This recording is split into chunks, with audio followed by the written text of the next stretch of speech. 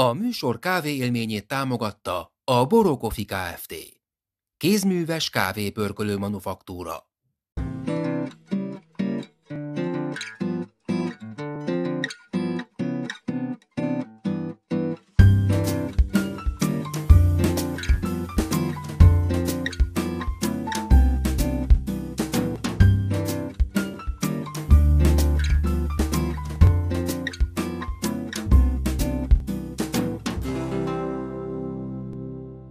Estét kívánok! Benedek Miklós, a Bóta Café vendége, mindannyian ö, ismerik.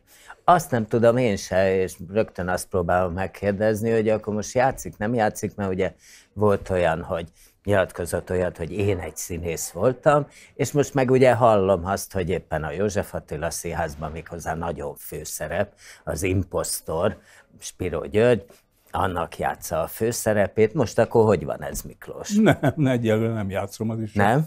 Novemberben kezdem majd próbálni, ha. Hát De és tud- mit mitől tudni? ha? Miért ha? Hát mit jön egy negyedik, Aha. negyedik pandémia, vagy vírus, én nem tudom. De, Mi be, jut be? de belőled nem fakad a ha? Belőlem nem, hát nem én így Tehát, hogy te, te akar, tehát a- te most már akarsz játszani.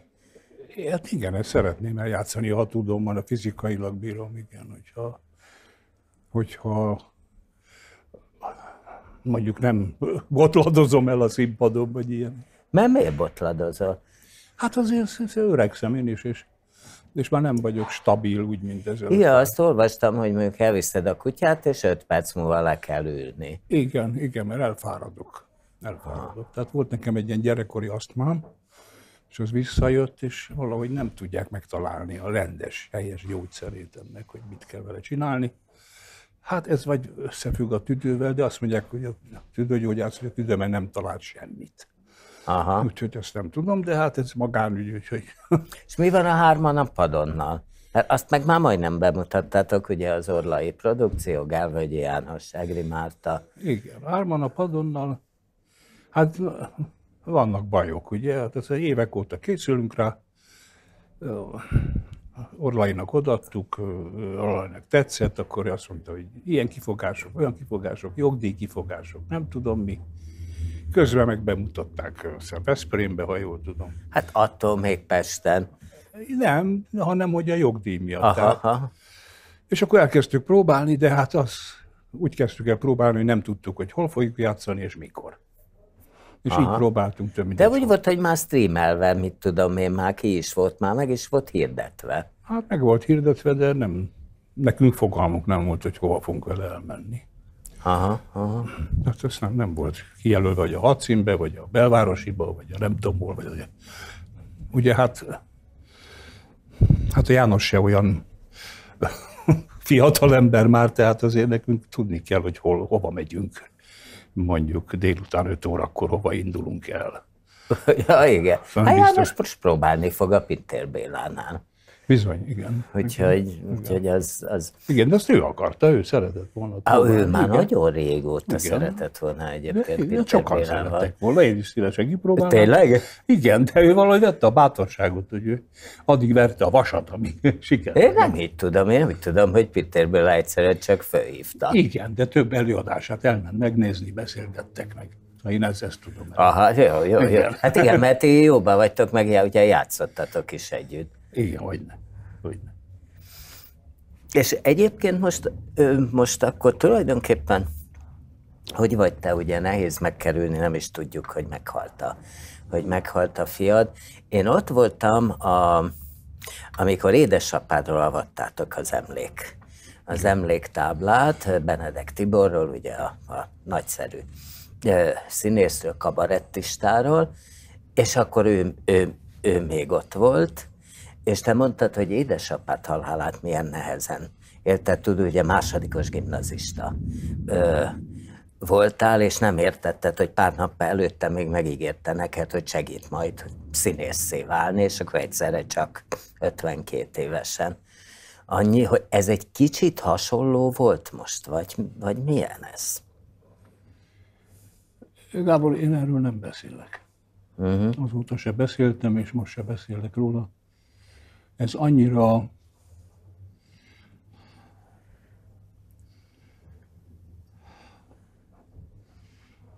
igen, a fáj szót akartam használni, de nem igazán jó rá. Annyira kétségbe sem ettől az egész gondolattól, és annyira, hogy minden egyes ilyen mondat, az bennem föl kavar emlékeket, és, és a szavak. A szavak egyszerűen keserűek lesznek, és, és könnyes lesz a szemem. Mm. És én ezt nem, nem akarom. És az nem esett jó, hogy valami hihetetlen mennyien szerették. Tehát, Ja. hogy ez tulajdonképpen egy olyan szeretett cunami volt az emberek részéről, amit azt hiszem, hogy kevesen, én a sportoszodában járok, mind a mai napig kint van a, a nagy fényképe az uszoda előtt, és ott mind a mai napig mécsesek. De, de csodálatos, hogy az emberek szemében ő mi volt. Hogy, hogy nem csak egy sportoló, hanem, hanem egy ember és egy, egy etalon volt valahol. Hát az se véletlen, nem tudom, az olyan élmények ezek, hogy, hogy ugye a, a fotbalisták, amikor most volt ez a nagy meccs, hogy akkor az ő nevét skandálták. Most egy év után. Szóval ez egészen megható és, és és nekem számomra nagyon, nagyon megtisztelő.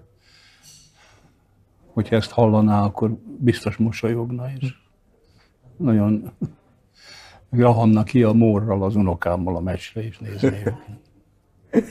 Hát te gondolom, te is jártál meccsekre, nem? Nem, inkább is Nem, nem, nem én egy nem meccses? voltam. Én sem vagyok az, de Tulajdonképpen azóta vagyok egy meccses, mióta ezt ordibálták. Azóta vagyok drukker.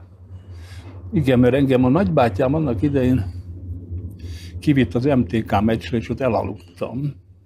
És akkor nagyon mérge, ő nagy MTK drukker volt, és akkor nagyon megsértődött, és akkor nem vitt többet. Hát engem meg képzeld el, apám kivitt tíz évesen egy vasas meccsre, és ott mindenki üvöltözött, meg sörös üvegeket dobált, és a messzeségben ilyen bolhák valamit csináltak, nem is látszott rendesen, hogy mi.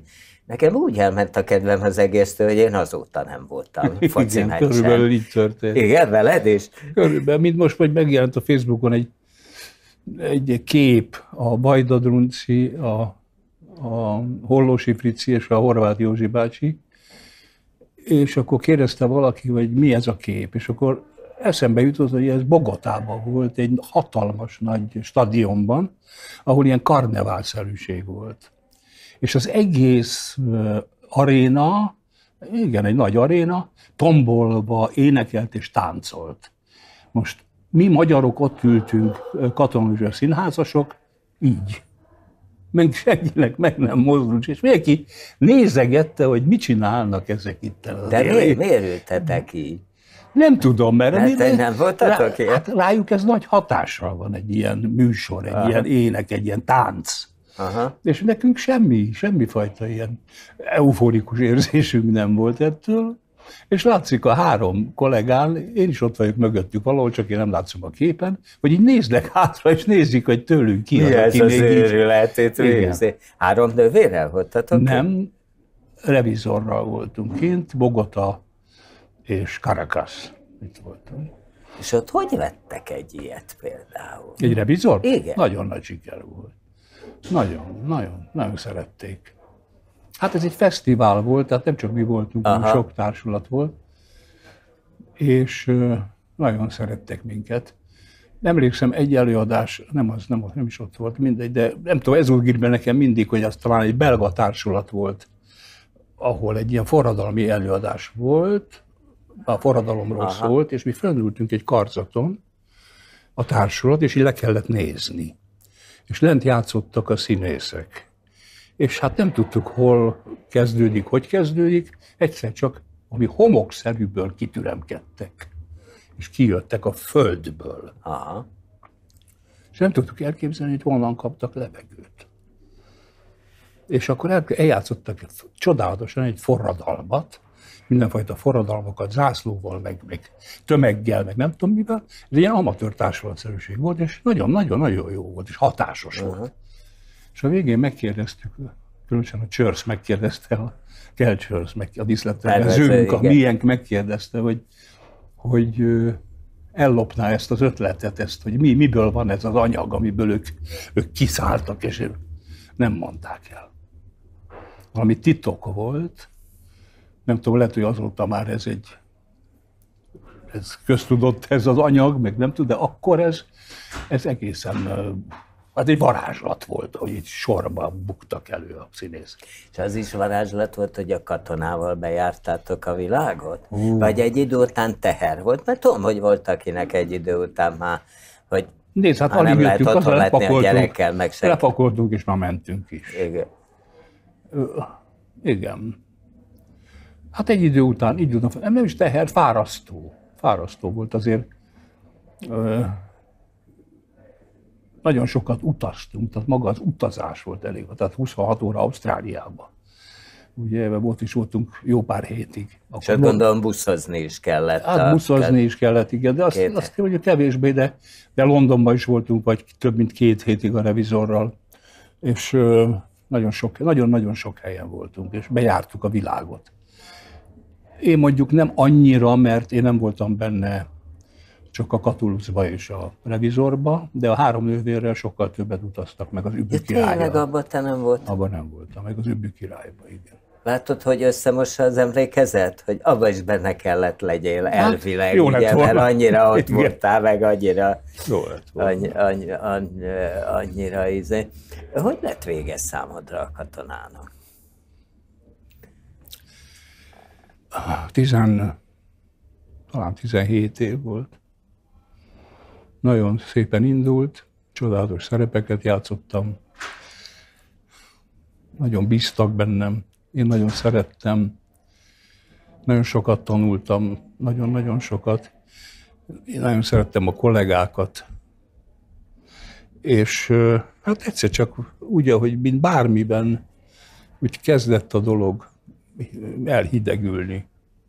Valahogy úgy nem tudom, olyan, olyan ma megszokott lett. De számodra, vagy mindenkinek? Lesz részükről is. Aha. Tehát abban az időben az volt, hogy a, a főnökség valakibe mindig beleszeretett. Tehát voltak, voltak Aha. bizonyos időszakok, amikor hol a Sinkó volt, hol a, esély, igen, hol a Blaskó volt, Péter. hol én voltam, hol a Cserhalmi ja. volt aztán a Hauman, tehát mindig volt egy időszak, amikor valakit úgy fölkaptak.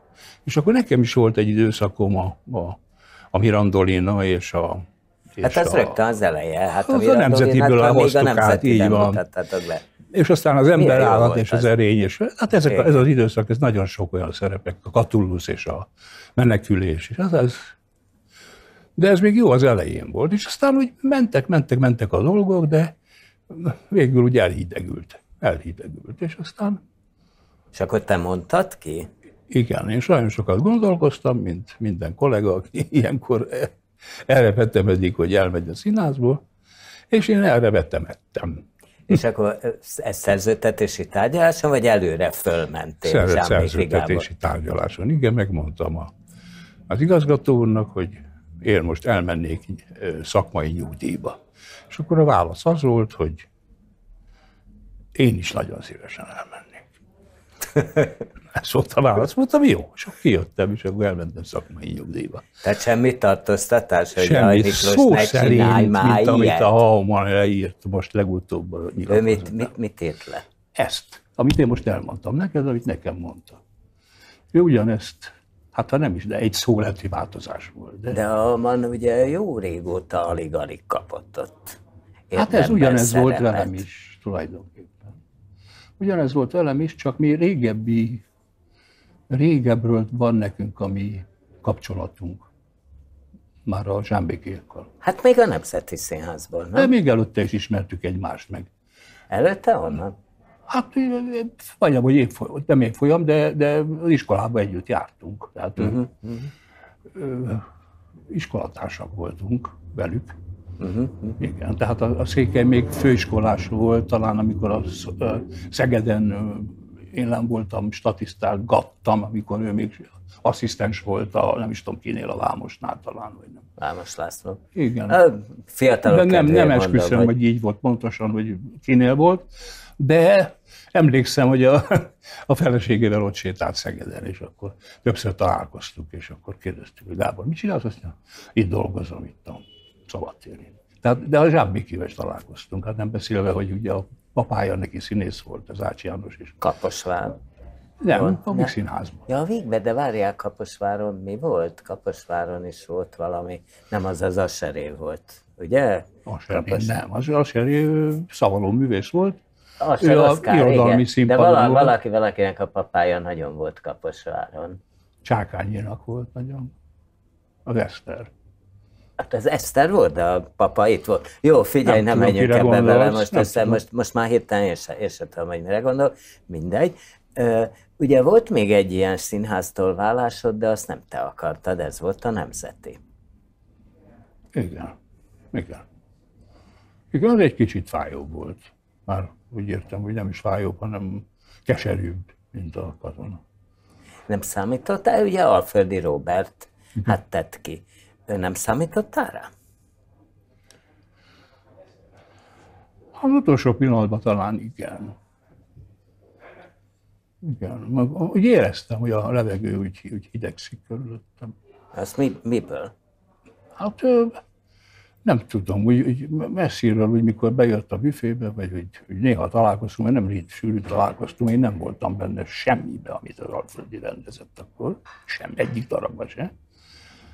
És úgy, amikor bejött ugye a büfébe, akkor úgy, Szóval tudod, megkülönbözteti az ember azt, hogy Hogy lelkesen A két szervusz köszön, igen, Ez, az ez, ez, ez, világos. ez, ez. Igen, hát ezt Darvas Iván mesélte nekem, hogy a pillanatban, hogy Várkonyi Zoltán meghalt, érezte, hogy a Várkonyi, tehát érezte, ha bemegy a színészbüfébe, akkor Várkonyi úgy köszönt neki, hogy örül. Persze. És akkor érezte, hogy voltak, hogy utána meg voltak, akik hát nagyon Hogyne, hát nálunk volt egy rendező asszisztens, előtte kellékes volt.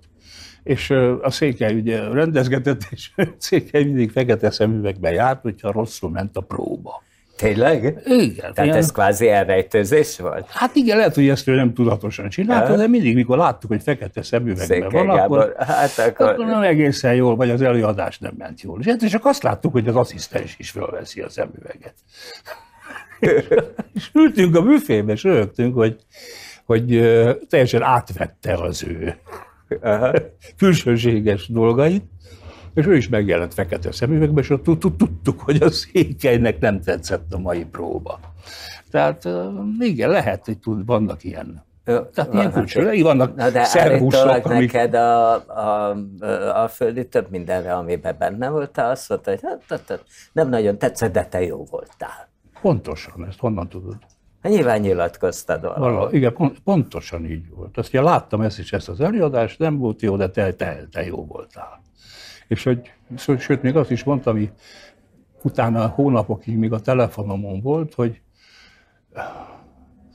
hogy örülök, hogy abban a színházban vagyok vezető, ahol te színész vagy. Ezt most komolyan Ezt mondod? most komolyan És mondom. utána pakolt ki, Igen, igen. és mit mondod, hogy miért? Ez, ez is egy normál szerződtetési tárgyalás volt, vagy megint? Normál szerződtetés. Tehát normális, és akkor, hát és akkor mit mondod? Hát semmi, akkor bementem, amikor volt ez a tárgyás, én kerültem sorra, ugye bal felső hatos. Igen, ezt szoktuk játszani a revizorban, még szegény, még várjékkal, meg a szacsvaival. Ugye ott várakoznak sorba a revizorhoz lévő Hogy, hogy, hogy be, kollégák. be, bemelhessenek, És és, akkor pénzt adhassanak neki, a Szacsi meg a mint ö, Dobcsinszki, Bobcsinszki, már ott ültek hátul, és akkor én jöttem, mint doktor, ott egy mondatom. Igen, és akkor ott mindig mondta a végvár, hogy ne tessék bemenni, mert a doktor úr még nem fogad. Na mindegy, szóval ez volt. És akkor bementem erre a tárgyalásra, és ott ült egy ilyen paksamétával, így, lehajtott fejjel, és akkor azt mondta, hogy nem, nem kell lesz. Már úgy értem, hogy a rendezőknek egyik, senki nem akar vele dolgozni. Így, hogy nem kell lesz, így. Igen, nem kell ez a rendezőknek. Mhm. Mondtam, jó, köszönöm szépen. És, és ö, nekem nincs arra időm, hogy én téged megtanítsalak arra, hogy én milyen rendező vagyok, vagy milyen igazgató. Mondom, jó, felálltam és kijöttem. De mire kellett volna meg, meg, megtanítson, hogy ő attól tartott, Hogy én nem hogy te egy ő- ilyen pógári színész vagy, és ő meg nem olyat csinál, és akkor... Nem, hogy én nem értem az ő művészi elképzeléseit valószínűleg erre értette, és hogy nekem akkor meg kell magyarázni, hogy ő ezt mi- mit miért csinál. Aztán én később rájöttem, hogy valószínűleg a büfében, ahol mi nagyon sokat beszéltünk a Jordán alatt is, és a Svajda alatt is, az én kollégáimmal volt egy asztalunk, ami a mai napig Hollósi Frici büfé, és Hollósi Frici asztal. Az van ki, ki van írva A valahol? Hollósi Frigyes büfé lett. Te, ja, hogy Maga az egész büfé. is, ezt nem tudtam. Igen. Ez a neve? És ott volt egy asztalunk az Ahol ablak. mindig ott ültetek. Mindig ott ültünk, és általában mindig ugyanazok. Kik? Hát a Stollandris, a Hollósi Frici, a Blaskó, a Murányi Tünde, a Major Melinda, a Vidapeti, felváltva a Garas, a Törőcsik, ö, Bodrogi néha, de ott ültünk végig Aha. körbe az asztalt. De nem mindig ugyan ennyien voltunk, hanem ezek közül egy páran. Tehát mindig a kép az Igen, a pesti előadásban, vagy a próbában benne. Világos. És valószínűleg én olyanokat mondhattam, vagy beszélgethettünk a büfében, ami nem tetszett. A, át, tehát természetesen a fülébe került, és, és Ja, hogy ezt visszamondták. visszamondtam. Nem ilyeneket beszélgettetek? Nem tudom. Hát dehogy nem.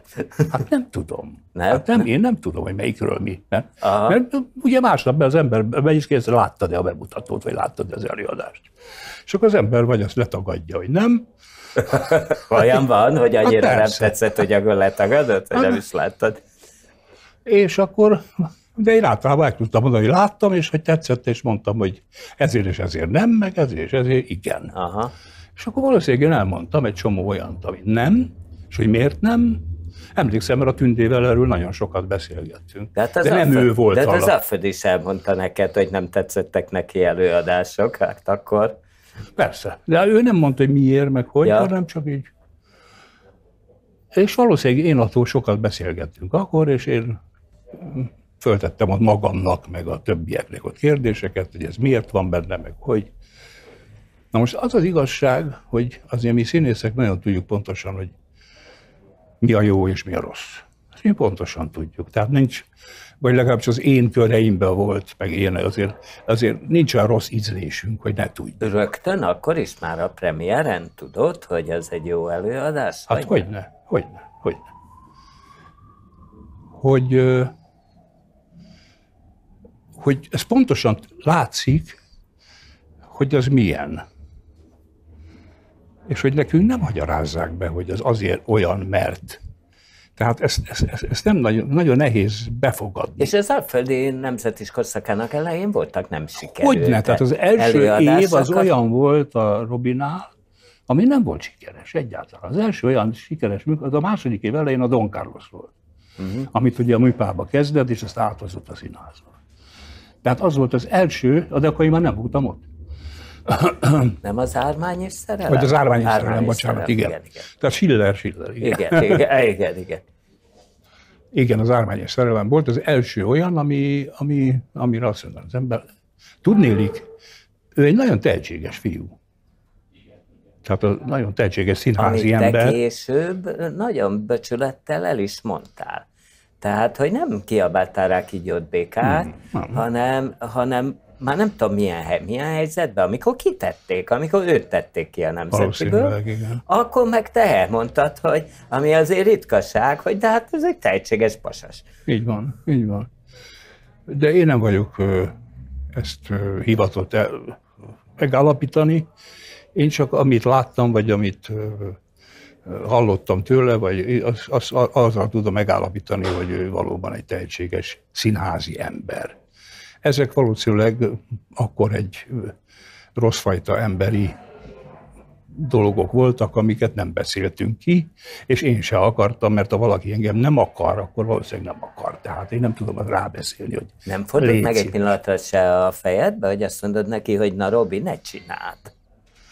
Hát nem nekem hülyeséget kellett. csinálsz. Mert aztán később egyébként, a, ugye többeket kirúgott, de te voltál az, akit a leginkább a szemére hánytak. Tehát ez többek Igen. ö, ö, nek szálka lett a szemében, hogy na hát a Benedek Miklós azért csak nem kellett volna. Hát igen, mert az azért nagyon fájt nekem, mert tulajdonképpen azt a színházat, azt, azt a, a hogy mondjam, én adtam oda a Hildának. Ha te erre emlékszel. Nem, ez hogy? hogy? De hát a Hilda a katonában ünnepeltük a Hilda. Hilda. 70 éves évfordulóját. Igen? És akkor én azt a pénzt odaadtam a eljadás végén, ami abból befolyt, mint jutalom játék, a műsorban úgy volt, hogy játék jutalom, Ez a te jutalomjátékod? az a Hildának volt. Hildáé? Igen, De, de te adtad én át neki szerveztem. az... Ja, te szervezted? Első. Jó, így értem. Első fellépőtől a 40 szereplő volt az utolsóig. Megrendeztük úgy, hogy nem volt próba belőle, hanem televíziós felvétel. Tehát az én ötletem volt a Zsámbéki felé, hogy csináljunk 70 éves évfordulára egy valami, valamit a Hildának. És ez, ez, És ez a klasszikus jutalomjáték volt, ezt már kevesen tudják, az olyan volt, hogy akkor a színészé volt a bevétel. Így van. És összejött, azt hiszem, hát nem tudom pontosan hány százezer forint, vagy, vagy csak egy száz, akkor is nagyon sok Aha. volt. És azt én a végén, az Acsi hozta a 70 gyertyát, azt a Hilda elfújta, és akkor odaadta neki a borítékot. Hát, és akkor ő ki- kivontotta, és van ez a kép, meg mai, mai napig fönn van a falomon, hogy így a szívéhez kap, és azt mondta, hogy kérdeztem, hogy mit csinál ezzel a pénzzel, és akkor azt mondta, felajánlja a Nemzeti Színház alapkő letételére. És innentől indultak el a téglajegyek. Aha. Tehát tulajdonképpen ezt én alap, ez az én, hogy hívják, tényleg az én fejemben született meg, én hívtam személyesen minden egyes színészt föl, azt is, aki nem vállalta, azt is, aki vállalta, és ő nem tudta. Nem tudta. Tehát igazi meglepetés. Igazi volt. meglepetés volt, és én csodálkoztam, mert tudod, akkor voltak ezek a telepódiumok a Vidám színpadon, a horvát Tivadarféle telepódiumok, és akkor én utána mentem éjszaka, nagyon hosszú volt a műsor, 6 órától tartott éjjel egyig, Ó. ugye, mert rengeteg színész lépett föl. Sajnos a televízióban lement 40 perceből, vagy 45, ahogy egy műsor, és kár, hogy nem volt. És megvan nekem orsós szalagon, ha valakit érdekel. Nagyon És az még megvan? Az, Az nem száll el, de nem száll Hát el megvan arra? Hát az még, igen, nem kérdezik. megvan. És ö, nem, nem tudom, mi történt, nem hív a Hilda. Pedig akkor már a Magyar Lacitól, mi titkárunktól a katonában. Igen, legendás művészeti titkár. Így van, és akkor valakivel. beszélt volna, és akkor egyszer csak felkaptam egy telefont, és felhívott, hogy Miklós, hát most hallom, és hogy hát, jaj, és azonnal jöjjek meg, menjek föl hozzá, és meséljem el, hogy mi, hogy volt ez az egész, és hogy mondjam Mármint el. a kirúgást. Nem, Ha nem? Nem a kirúgás, hol volt akkor még? Ja, ja, ja. Nem, a műsor. Ja, hogy a műsor, Ki, ki volt az, aki nem vállalta? Ki volt az, ki- aki vállalta? Ki az, aki mit mondott, hogy miért nem vállalja? És Tehát mit, mondjuk kellett- egyet mondjál, nem muszáj névvel, hogy mit mondod, hogy miért nem vállalja. Hát például felhívott reggel hajnali, 7 órakor engem egy nagyon neves Kossuth művész felesége, aki szintén színész, hogy elnézést, Miklóskám, múltkor beszéltünk, de mégiscsak ráérnék. És akkor mond, mert már hívtam őt, és akkor azt mondta, hogy nem, mert a férje nem volt hajlandó föllépni, és, de ő, ő ráér. És akkor, hogy Mármint ő, a feleség? a feleség, igen. De ő is színész? Ő is színész. Aha. És mondtam, hogy ne haragudjon, de már nagyon sokan vagyunk, és már nem lehet tovább húzni. és akkor ezt elmeséltem a Hildának, természetesen névvel. És hát akkor nagyon sokat nevetett a Hilda, hogy de több ilyen volt. És hogy kijött csak azért egy percre, mert, mert nem akart. Tehát tudod, akkor volt az a nagy botrány, hogy a katona a, Nemzeti Színházból elvált, ketté vált, és a, az az övéké volt. Ugye a régi Nemzeti Színháznak Igen, volt igen. a Kamara Színháza. És nagyon sokan meg voltak sértődve, hogy elvette tőlük a posgai ezt a színházat. Posgai Imre, igen. Igen, igen, igen. Na, szóval ez, ez, de ezt valószínűleg a Robi nem tudta, de nem is baj, tehát nem is nem ezért voltam, mint színész, csak ez is a palettához hozzá tartozott, hogy az az én Hát igen, segített nekem az akkori titkárnő, a Topán Eszter a katonából még, ha emlékszel a Topán Eszterre. Hát nem, Magyar nem. Nacira nagyon, de Topán Eszterre nem. Hát akkor te nagyon, nagyon fiatal vagy, és ő volt, és vele együtt csináltuk ezt az egészet, és, és hát nagyon-nagyon emlékezetes műsor volt. Na de félig meddig lehet azon kívül, hogy megviselt, lehet azt mondani, hogy talán még jól is jártál ezzel a kipakolással, mert ugye rögtön eljátszottad a, a Víg Színházban a, a játékakastélyban Banturait, ugye Molnár Ferenc, aki neked amúgy is szívecsücske, és valahogy mindig olyan színházakban voltál, ahol ilyet meg nem játszanak. Tehát, és akkor rögtön Haton László a segítségedre sietett, és azt mondta, hogy na tessék. Ő volt a második. Rögtön, ahogy a Robival történt ez a dolog, másnap hívott a Sas Józsi, hogyha csináljak egy önálló műsort, már nagyon régen akart velem ott egy önálló műsort csinálni. A mikro, még a mikroszkop színpad működött, és ma mondta Józsikám, nagyon kedves vagy, és nagyon köszönöm. De hát nem, ez nem az én műfajom, és, és hát jó, az én műfajom is, de most nincs, nem de, tudom. De egyébként miért ne lehetne? Hát neked a kabaré, meg a kuplék, sanzonok, azok nagyon a műfajok. Lehetett, hát de ebből akkor... simán össze lehet, és azért önálló ested volt, nem? Volt. Most ez nagyon más lett volna, vagy abból nem lehetett volna valamiket átvinni a mikroszkópra? Egész más közönség járt oda, mint ami én az én műsoraim voltak. Na de hát, hát ha oda mentek volna, nem hiattad. Hát lehet, elképzelhető, de én féltem ettől, és egyrészt nagyon nagy meló, mert mindig nagyon nagy melókat fektettem be főiskolán is ezekre a vizsgákra, meg amikor csak kabarékról szólt, mert soha nem a kabaréról szólt igazából. Ha nem? Hát, hanem az élet, a történelemről, a, a stílusról, a, a, a világról, a, a drámáról szólt mindig. Merészettől meg vagyok győződve, hogy, hogy, hogy csak úgy lehet játszani egy kabaré, egy rejtőjenőt is, vagy egy, vagy egy vadnait is, hogy halálkomolyan. Miért szerettél ebbe? Bele, miért szerettél bele ebbe a világba? Tehát hát régebbről. A, ebből a két világháború közti ilyen, hát egy ideig békebeli, aztán kevésbé békebeli kabaréba. Nem csak a kabaréba. Hát nézd meg ott az összes más, a két világháború közötti Szépernő, Szomori, Heltai, Gábor Andor, Molnár Ferenc, hát szóval Hunyadi Sándor, Bródi Sándor, tehát azért hát vannak, vannak egy páran, akibe bele lehet szeretni, és én ezekbe beleszerettem mind. Tehát én jártam, búgtam az antikváriumokat, és olyan darabokat néztem, amiket ritkában játszanak, vagy nem játszanak tőlük, Hát igen, Molnárból is előszedtél legutóbb a Rivierát, a, igen. a Orlainál a belvárosi színházban. Mit mindenki nézett, hogy hát ez, ez mi, meg, igen. meg mi, meg hogy, meg nem ismerjük, meg igen. százan megkérdezték, hogy hát miért nem egy ismert, darab, ismertebb produkciót, igen. vagy darabot rendezett tőle. Igen, hát rendeztem ismertebbet is. Amikor láttam az előző műsorodat, akkor gondoltam, hogy a fészekben úgy lesz, volt ugye, hogy mennyi mindent tudok a fészekről, és hogy meséltem volna, hogy ebben a szó, nem tudom melyik. A, Ez a Jordán Tamással készült? Igen, a kávéházban volt a felvétel, vagy az étteremben, nem tudom. A, a zeneteremben. A zeneteremben, az egy pici terem, igen. Az egy kisebb terem. Így van, egy zongora van benne, meg igen, szék, igen. igen. Hát az életnél több, mondjuk 40. Jó, arról is tudtam volna mesélni.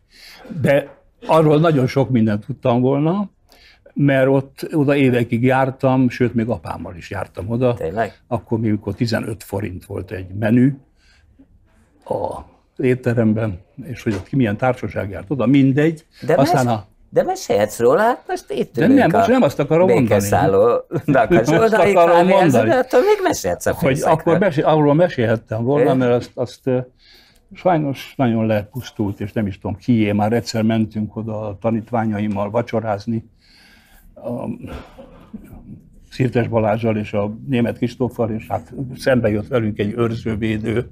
Kérdeztük, hogy magam mit csinál itt? Azt mondja, ő itt a nem tudom milyen dél-amerikai étteremnek a nem tudom milyen. Mondom, miféle dél-amerikai étel? Hát ami itt van. Mondom, itt nem volt dél-amerikai, itt a kis pipások. Kis meg a nem pipája, igen, az sokkal inkább passzolta, de és akkor hogy kell ide be? Sehogy ide nem lehet bejönni, csak ne kell, nem tudom, oda jelentkezni, a port, menjenek a felé, és átmentünk a kis kocsmába oda, a Dob utcába, vagy a Kertész utcába. Na mindegy, nem ezt akartam mondani, hanem azt, hogy innen nem tudok semmit. Mert ide alig jártunk. Vagy én legalábbis alig jártam, akkor, amikor jártam végig a kávéházakat, meg éttermeket, meg bárokat, meg nem tudom mi. Itt volt a kupola, ugye, hogy itt volt éjszakánk, itt a békeszálló A kupolán. béke Orfeum volt itt. Hát Orfeum, nem kupolának hívták. Nem, Orfeumnak Az hívták. is volt. Orfeumnak hívták. Később volt Orfeum, de ez kupola. Béke Aha, kupola, béke ez volt a... kupola. Igen, igen. Igen, és Műsoros levőműsor volt, és vacsorázni lehet. így van, de én ide egyszer vagy kétszer voltam a kupolában. Hanem a kávéházban, ami ez, hogy hívják ezt, marcipán? Zsolnai Zsolnai, az ugye fönn volt az emeleten, E- egy az ilyen első emeleten lépcsőn kellett igen. fölmenni, Most ezt hívják annak. igen, és a Svajda Gyurinak volt a törzshelye. És a Svajda Gyuri itt szerződtetett. Tényleg? Igen. Tehát a, ugye ő pesti lakos volt, és itt ide hívta a kuncsaftokat. És én itt kétszer voltam. Egyszer, amikor le akart engem szerződtetni Szolnokra, és másodszor, amikor Molnár Ferenc jut eszembe, amikor a, meghívott a hattyú rendezésére. És akkor én megcsináltam a hattyút Szolnokon.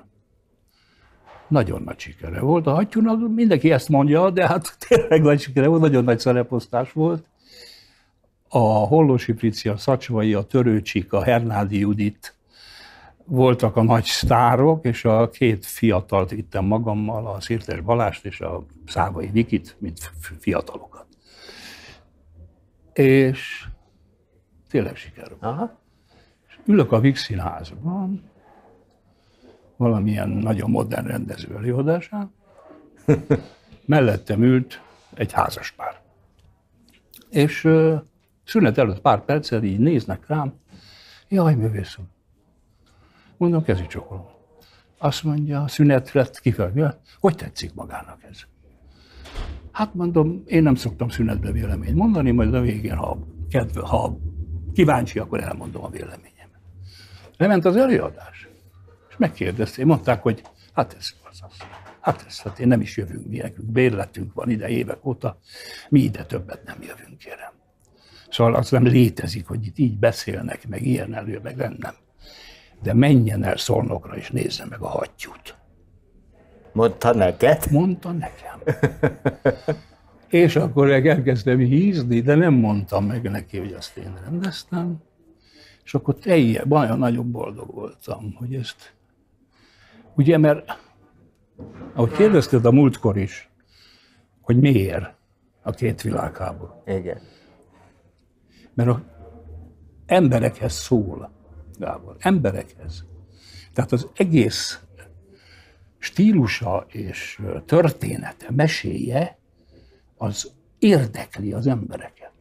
Tehát nem az van, hogy ordibálnak végig, és, és kifacsarják a citromnak még a nem is tudom miért is, és azt még jó kis szarral, bocsánat, bekenik, és utána odavágják a falhoz, és meg is eszik utána, és akkor azt mondják, hogy de jó volt, és aztán halják. Szóval nem ilyen, nem. Ez is lehet jó színház, szerint. Hol? Ez a típusú Hát színház, Németországban nagyon szeretik, Németországban nálunk nem nagyon szeretik ezt. Lehet, hogy elmaradottak a nézők, ezért nem mennek. Uh-huh. Ezért nem mennek. Lehet, hogy ez az öt ember szereti, vagy az a hat kék harisnya, vagy kék zokni, azt szereti, de nem. De tény, hogy ez is lehet. Jó színház, mint ahogy az is, nem tudom. Lehet, persze. Műsorom maradt még a végben a játék a kastélyban? Igen, tíz éve. Tíz éve. Igen. Az egyetlen darab, ami a az eszenyi éra óta megy. Tehát az első évben mutattuk be, Marton Laci rendezte, és a mai napig megy. A többi már egy, ez az egy. Hát ezt a korábbi megy, mert Korábbi a padlás megy, hát az- megy, a padlás persze, megy, persze. meg egy rakat ilyen. Persze, a többi, ami mondjuk régebben is ment, az Jászlóira szem mióta megy. száz éve, igen. Igen. De ez, ez, ez megy. Na, és akkor az milyen volt neked? Az tulajdonképpen egy kárpotlás volt szinte ez a játék a kastélyban, nem? Ami a, a, a, a nemzeti után, mert akkor mindenki, tehát hogy akkor ez is volt, hogy hát abban te nagyon jó volt, tehát az egész előadás nagyon jó. És akkor, minden, akkor végképp mindenki mondta, hogy ezt az embert rúgták ki. Hát micsoda színész. Na, igen, hát. Igen, lehet, hogy nekem nem mondtak ilyet.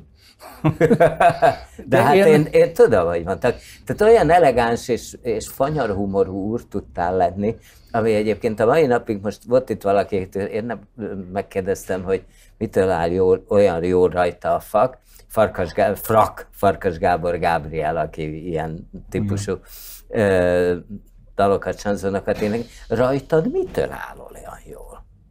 Tehát, hogy, hogy, hogy olyan elegánsan tudod hordani, még akkor is, amikor, bocsánat, hogy ilyet mondok, tehát volt egy időszak, nagyon meg voltál hízva. Nagyon még, nem. Hát jó, na, nagyon nem. És még akkor is valami olyan elegáns tudtál lenni, hogy valami iszonyú. Hát nem tudom, nem tudom, nem, nem tudok neked válaszolni. Nem tudok neked válaszolni, nem úgy megyek be a színpadra, én most elegáns leszek. Nem tudom neked megmondani. Nem tudom. Na jó, de hát ezt valahonnan... Ezt olvasni ta... szoktam mindig, hogy a Ezt valahonnan tanultad. Jöhet szülőktől, nem tudom, hogy hát a papától is tanulhattad. Tehát a hát papát kabaréban, volt fragban. A, igen, de hát nyilván azért kabaréba kell elegánsnak lenni. Hát ő mindig a saját ruhájában játszott. És, igen? Hát igen, és amikor még nem volt befutott, akkor akkor is a saját ruhájába játszott, úgyhogy nem nagyon emlékszem. És ez olyan lepukkant volt?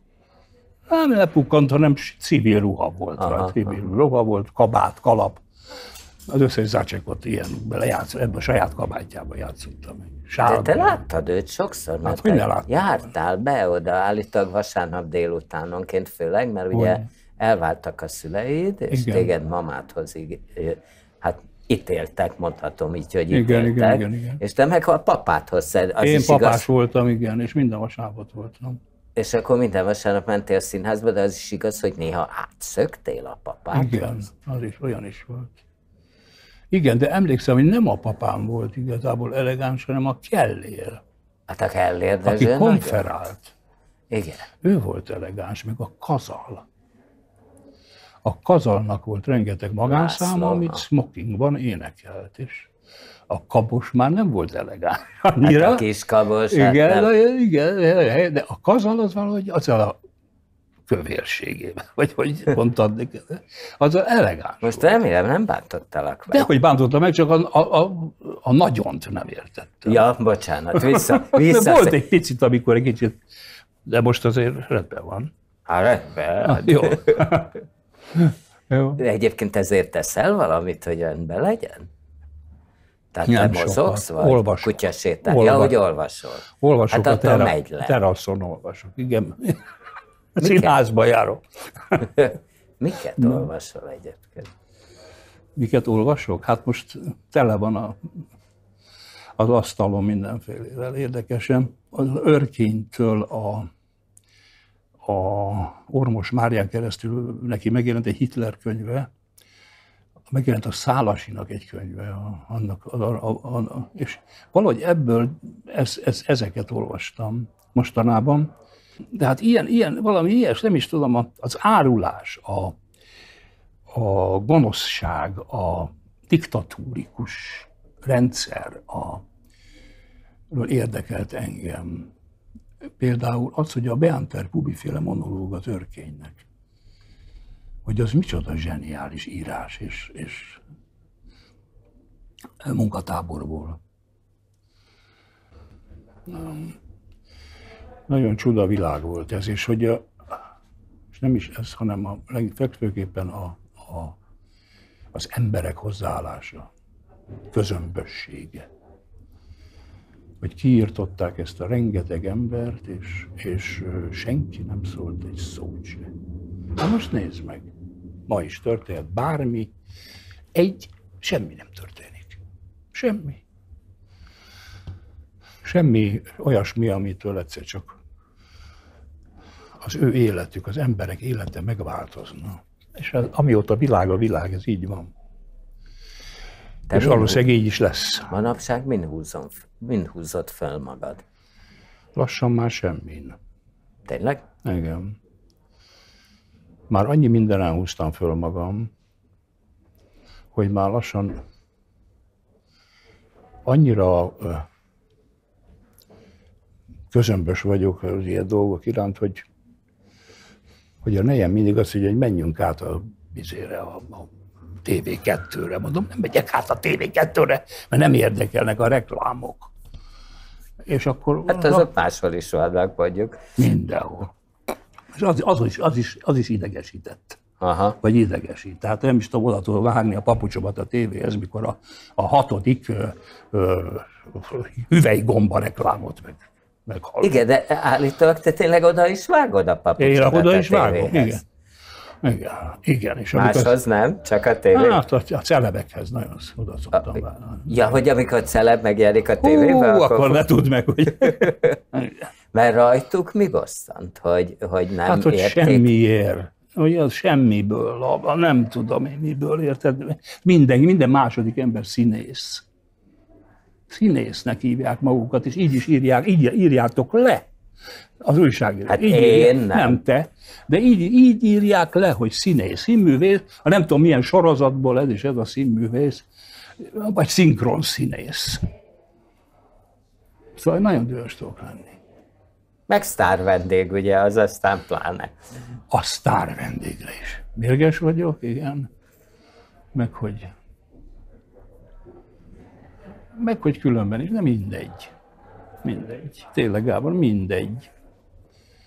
Mindegy. Az ember olyan jól el van otthon, itt a könyveivel gondolkodik. Néha elmegy színházba, holnap elmegyek színházba, megnézem azt a Budapestet csodást. Nem tudom, mikor megy ez le, hogy ne legyen. nem hónap után van? Jó, most a Holnap van a sajtópremiér, derbi, a azt hiszem. sajtómelyen a premierre megyek. Hát erre kaptam, igen. Igen. De hát ma oda is, oda, oda sem megyek olyan sokat. Ha Nem, szóval nem, nem bírok rosszat nézni. Egyszer nem bírok, nem tudok. Akkor mi van? Ott ülsz rossz, és akkor mi van? Hát akkor dühöngök, és akkor nem tudom, a Jánossal megbeszélem.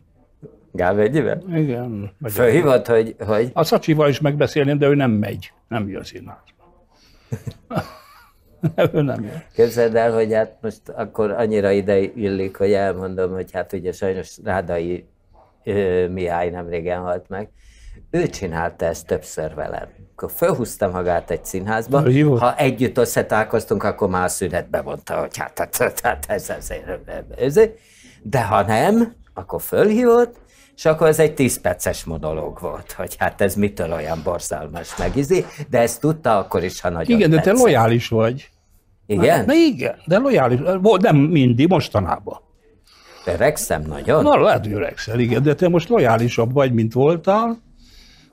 Tehát neked tetszik, ha egy molnárba medve megy körbe a színpadon, vagy egy elefánt, vagy egy nem, Nem, tudom már micsoda. bocsánat, most a legutóbbi nála, amikor tudom. Sándor rendezte a Vix Színházat, és abban tényleg volt medve. Medve volt. Vo- Hát nem, nem valódi, de... Nem, de. De, de, vala, de valami ilyen, Valami. ilyen, valami ilyen, és senki nem értette, hogy miért, akkor nagyon nem voltam lojális. Nem voltál lojális. Ezt Mert az az előadás nem működött. Igen. Igen, pedig néha milyen egyszerű, hogy működjön. Milyen egyszerű. Hát egyszerű, mert hát, ezt a papírt alulra teszem, és használom a másikat. És akkor ide nem az van írva, hogy param, hanem az van írva, hogy parararam.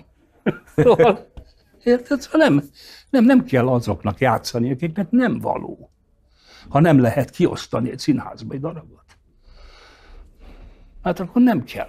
Nem kell lejátszani, csak azért, mert nem tudom, Te egy- egyébként, tehát a színművészetén, ahol ugye 20 évig tanítottál, ott, ott hangsúlyosan, olyan, pontosan olyan előadat, te ott se kísérleteztél.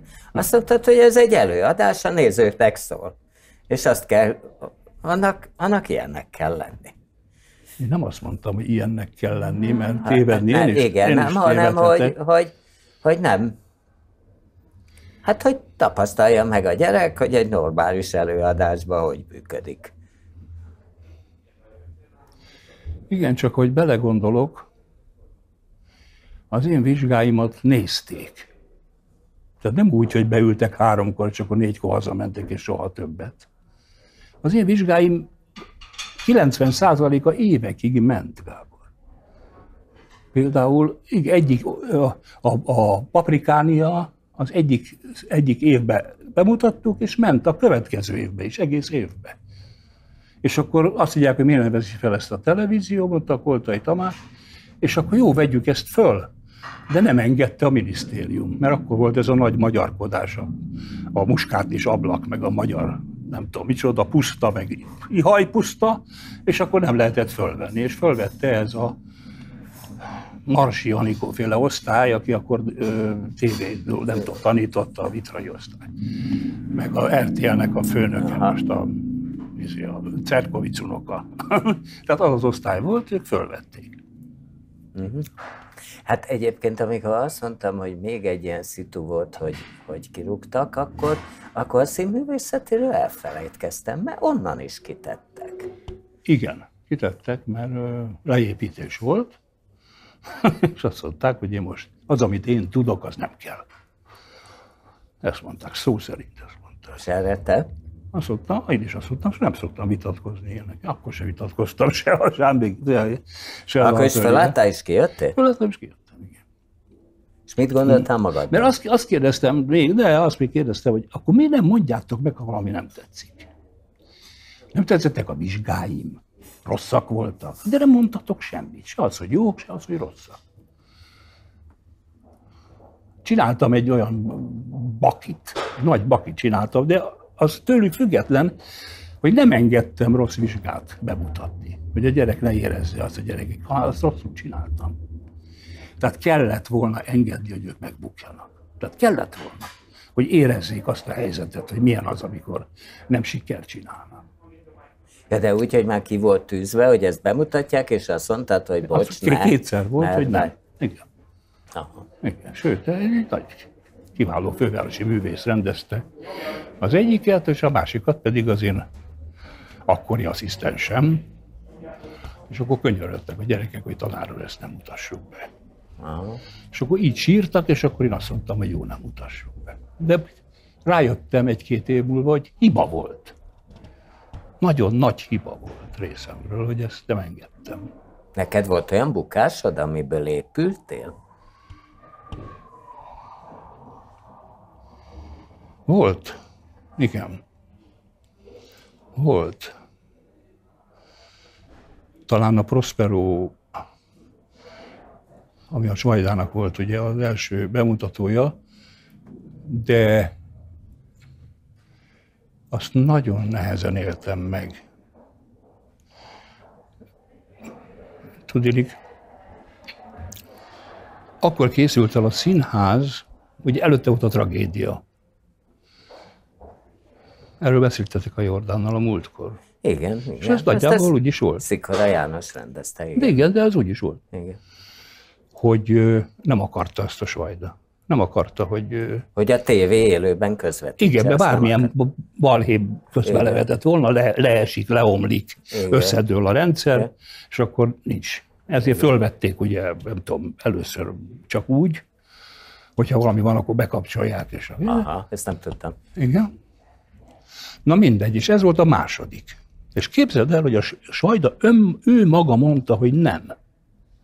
Nem mutatja be.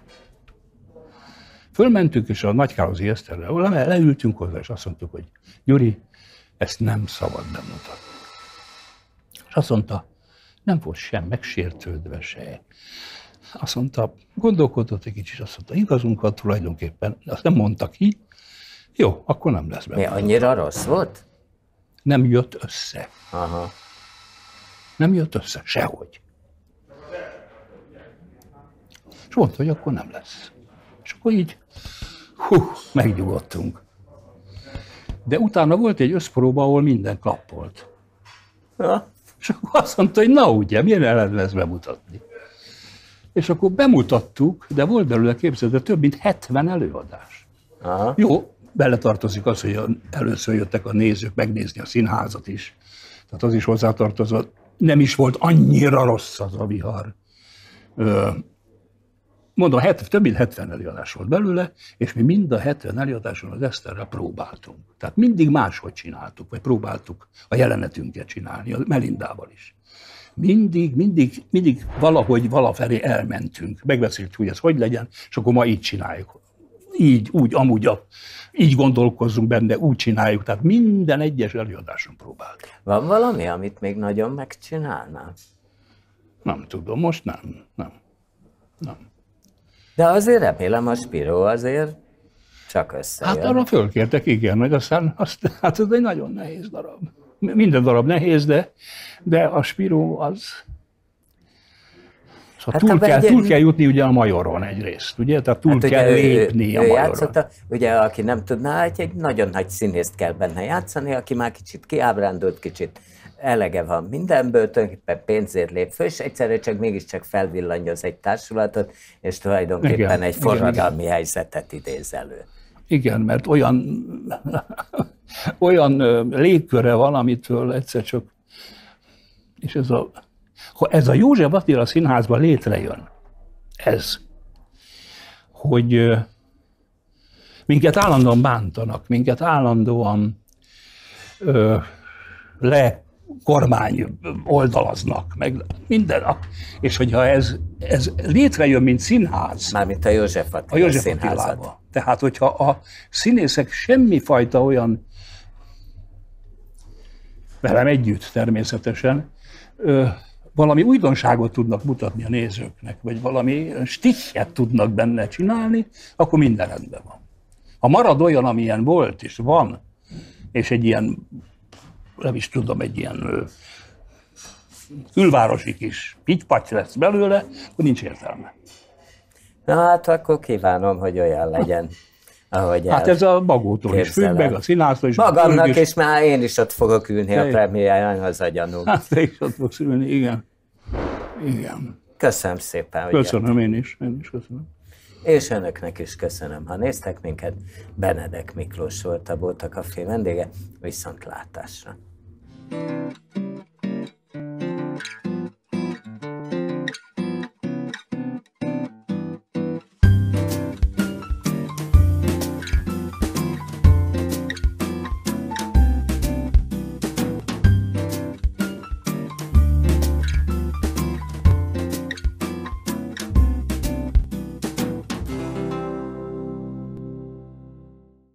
A műsor média szakmai partnerei. Színház.online Mediamix.hu a legjobb hírek keveréke.